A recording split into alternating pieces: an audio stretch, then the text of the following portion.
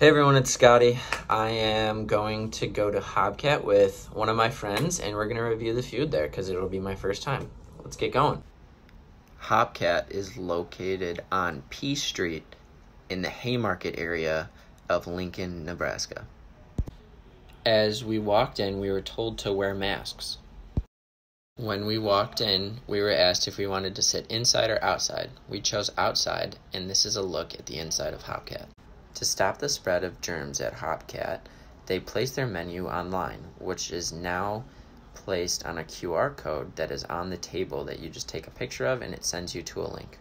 I ordered the Nashville hot chicken sandwich with ranch and a side of fries, and my friend got some cauliflower tacos, which both were amazing and definitely recommend to get them the next time you're at Hopcat.